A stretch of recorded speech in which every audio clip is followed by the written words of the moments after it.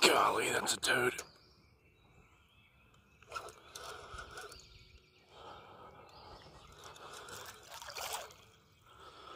The shad just started spawning. And these big old bass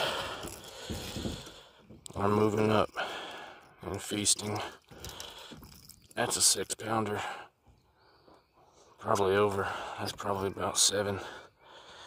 That is a tank of a bass right there. Big old bucket mouth. Beautiful bite, man. Boom. Freaking slauncher. Thanks for biting, bud. Old wall hanger.